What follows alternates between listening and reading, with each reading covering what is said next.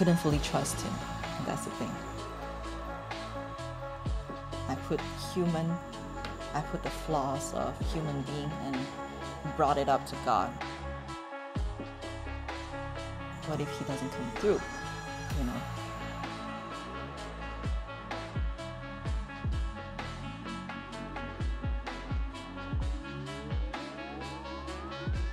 What if I never find anyone like that again? So,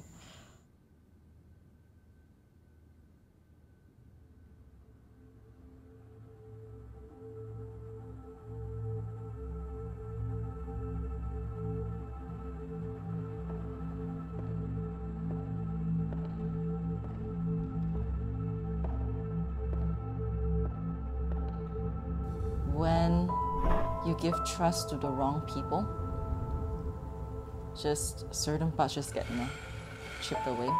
And at the end of the day, be like, you know, who can I trust? Some of my family members don't love me. I believe that because they show it,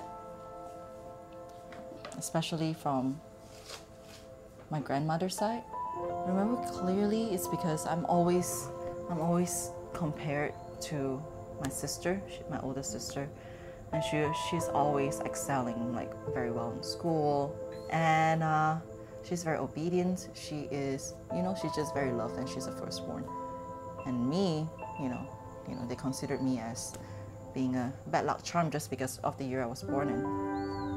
I was always compared to her because I'm not as smart. I'm not, you know, I always make mistakes. You know, like I'm always so clumsy, breaking stuff. Hurting myself and there was this one time um, i was i was being disobedient to my dad. That was my own fault okay?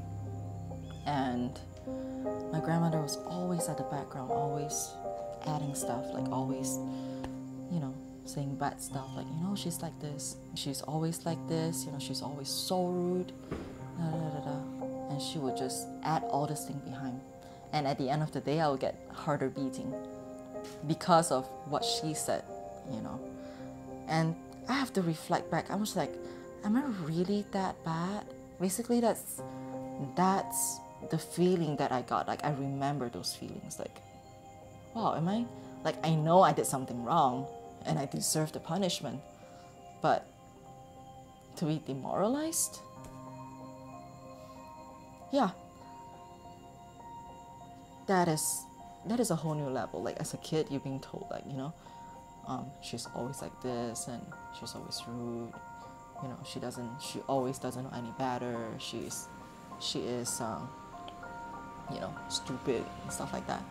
So basically, yeah, words like this get thrown around very often, and that affected my self-esteem issues, I guess. And I'll be like, hey, since I can't trust my own family, who can who can I trust still? So I guess from then onwards that developed the trust issues that I have with other people. Like feeling like why am I never good enough? Like why when when does it stop? Like when when will I measure up to my sister? I did I did try to win to win their affection and I would go to go with my grandmother, you know, go go to her go to her shop and um, you know set up everything with her, you know, and stay the whole day. It was it was our our break, you know, like year end break, school break, everyone's having fun, and here I was like, you know, working hard with her, trying to win her affections, but apparently it's still the same, you know, and everyone everyone was just telling her like how good of a kid I was you know, because I was helping her, da da da. But apparently, that just wasn't, wasn't good enough. But what normally goes into my mind was that I won't show my real self. Because if I do,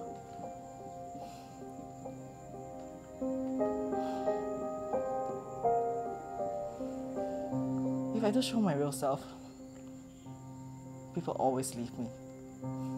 That's what I think. Let me just be presentable. Growing up, I have the thought that you know I'm, you know, people are not gonna love me for who I am. I'm always gonna drag people down. I'm always going to,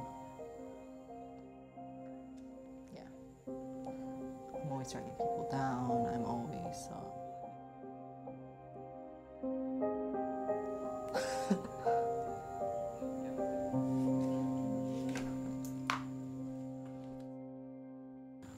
How did it affect my relationship with other people is that I always have to be cautious. Um, fast forward, I'm in college. Like, I would go to parties and I would, you know, if they drink, I drink with them. Yeah, I mean, like, I blended pretty well with, you know, that atmosphere, that environment. I felt I was accepted. I felt I was, you know, I was free for being who I was, not being condemned, not being condoned. You know, everyone has defects, everyone has flaws. That's why we're here, you know, that's why we are partying, that's why we're doing that. It's a form of release. I was in a relationship um, with someone, and he was everything that I dreamed of, right? He, he was he was smart, he was funny, he gets my humor, he didn't have a good childhood and stuff like that. So I guess that's how we bonded. That's how how it connected us together. And we do, we do write, like both of us, we write. And for me, that's just a bonus. And he's super successful in the world too. So that that that was who I was with. And everything was good. Like everything went well but at that point, I don't think in being involved in a relationship is. It, I don't think being in a relationship helps me a lot because, in some at some point, I still feel that people don't love me. No matter how hard they try, I'll be like, eh, it's not true. Nobody's gonna love me anyway. I went to Bible school because the Lord impressed in my heart to go study the Bible more. And from there, I was converted. And we, we still talked. It was a long distance relationship because he he wasn't there where I went to Bible school. So as I studied more about the Bible, I grew like my love for Christ grew more and more. And slowly I started to, you know, want to abandon the things in the world. It was so hard for me to let go. I'm just like, it just doesn't make sense, right? When you have everything planned out for you, and for the sake of religion, for the sake of Christ, just because you want to do something right, just because of you wanna you wanna have something like just because you want to be equally yoked with someone, you break off your relationship. I mean, it's just not worth it, you know? In my mind, that's how my thought process was. It just wasn't worth it. And we went we went backpacking together, you know, we had a lot of fun. But things changed. I wasn't the same person that I used to be. I just thought that giving up religion, like giving up what I believe in, was basically the best thing to do. Probably, you know, I don't have to compromise, I don't have to give up so much just to follow Christ. I don't have to because, like, other churches, you know, they would accept me for who I am. He told me, in a relationship, I do not want Christ to be in between us. I just want you all to myself. And I felt like the church is having part of you, and I don't think I would, I like that. So I told him that, hey, if that's the case, maybe I'll, I'll just leave the church then.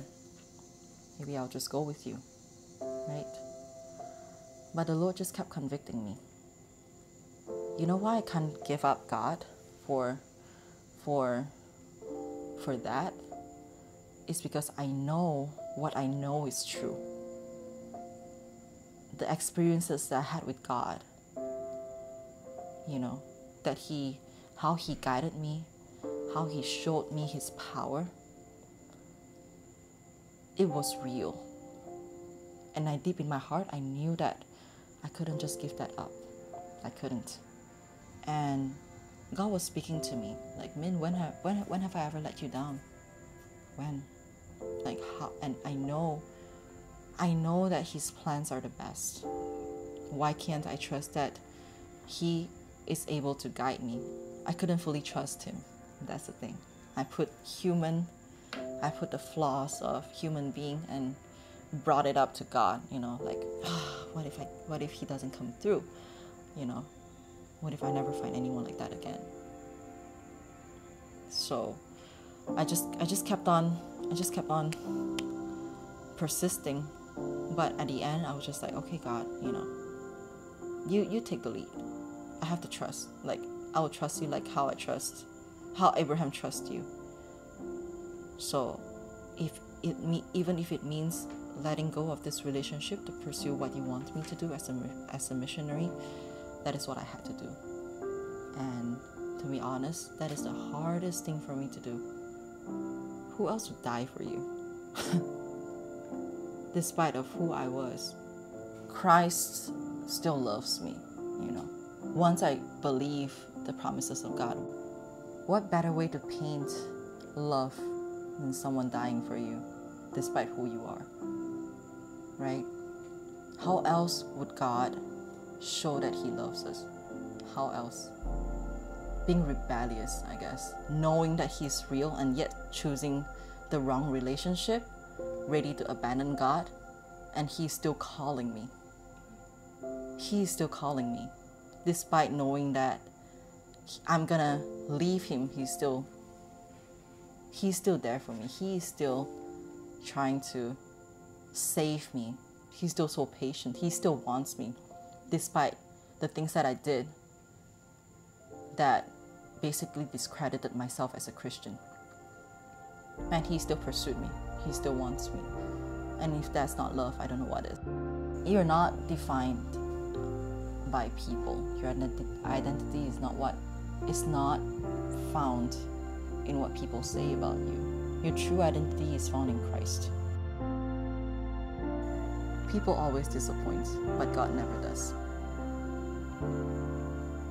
And the longing that I had for trust and for love in human beings could never be quenched until I found the love of God, until I knew Him personally in my life.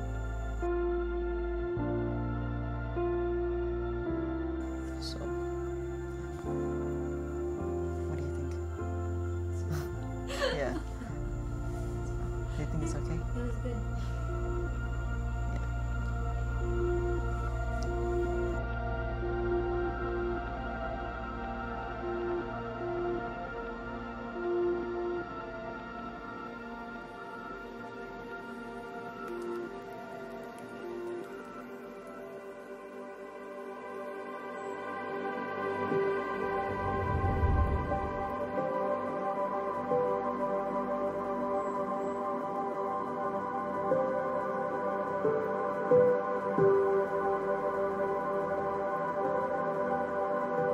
hold on to Him and cling on to Him and believe in Him no matter what comes our way, no matter what circumstances our way. Know that it is for our best good because He'll never retain the best from us. Amen? Okay, may God bless everyone today.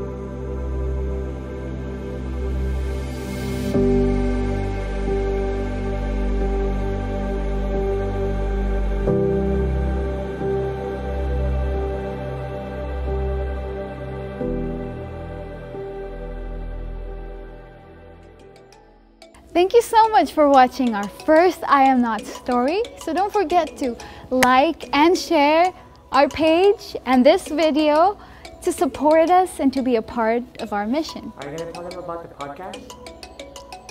Oh, right. Can you can you do that? Yeah. It's good.